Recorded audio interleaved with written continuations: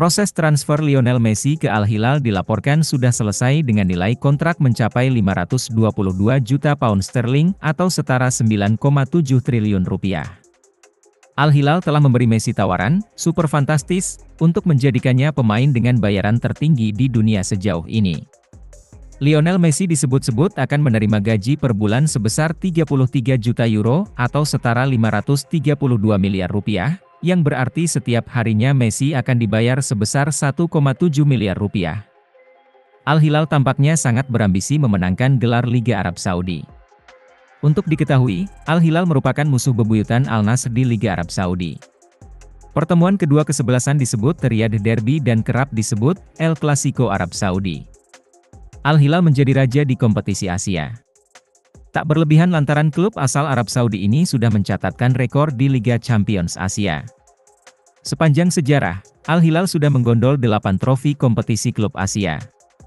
Empat di antaranya adalah pentas Liga Champions Asia. Klub Al-Hilal awalnya dikenal sebagai Olympic Club saat didirikan oleh Abdul Rahman bin Sa'ad bin Sayed pada 15 Oktober 1957 di Riyadh. Nama klub yang disebutkan barusan hanya bertahan selama satu tahun sebelum diubah menjadi nama saat ini pada 3 Desember 1958 oleh Raja Saud. Olympic Club mengganti namanya setelah menghadiri turnamen yang diperebutkan antara Olympic Club, Al Nasr, Al Riyadh, dan klub El Kaukab. Segera setelah pendirian klub, Al Hilal tidak hanya menikmati dukungan pemain-pemain muda tapi juga dari perhatian kerajaan. Al Hilal saat ini bermarkas di Stadion Internasional King Fahd Riyadh. Adapun, stadion ini dibangun pada 1987 dengan kapasitas 67.000 tempat duduk. Stadion tim cadangan klub, Stadion Pangeran Faisal bin Fahd, digunakan pada 2011-12 saat stadion utama direnovasi. Ketika Pangeran Abdurrahman bin Musaid menjadi presiden klub pada 2008, muncul wahana untuk membangun stadion pribadi, namun ditolak.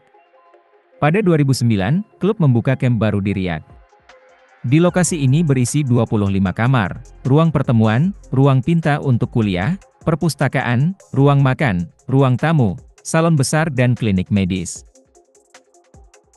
Di sini juga memiliki sudut hiburan untuk video game, tenis meja, biliar, sepak bola, dan fasilitas olahraga lainnya.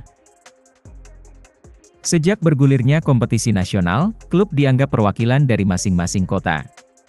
Al-Hilal mewakili Riyadh sementara Al-Ittihad mewakili Jeddah dan saat keduanya bertemu sering disebut Saudi El Clasico persaingan lainnya adalah dengan klub sekota mereka yakni Al-Nasr. Biasanya, derby ibu kota ini disebut Derby Riyadh.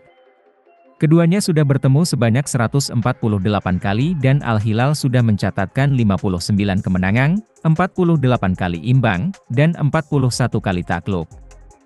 Secara keseluruhan, Al-Hilal sudah memenangi 63 gelar resmi di tingkat nasional dan internasional.